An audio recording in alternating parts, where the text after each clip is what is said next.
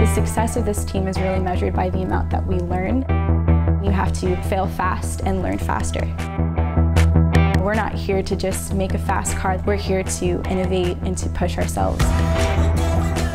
So Spartan Racing Electric is founded in the Silicon Valley. We're a competitive racing team and we build an electric vehicle and we compete in the Formula Society of Automotive Engineers.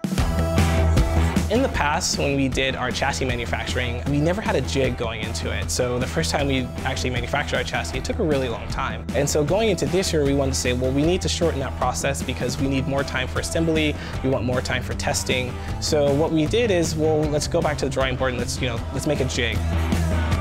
Working with Hawk Ridge Systems, one day they mentioned something really interesting about additive manufacturing and the chassis manufacturing process. So that what that eventually led us to is uh, working with the multi-jet fusion with HP to be able to print some really high precision and some high heat tolerance parts. What we created were these supports, which could be cut so that it's precisely one inch in diameter, so they fit perfectly around our tubes. The multi-jet fusion worked so well that I could put the part on and then bring it up in the air and it snugly fit as if it was magnetic.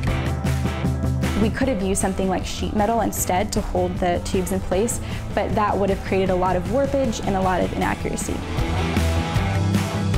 In the past, a two-month uh, lead time for manufacturing our chassis, and we did this year in about two and a half weeks.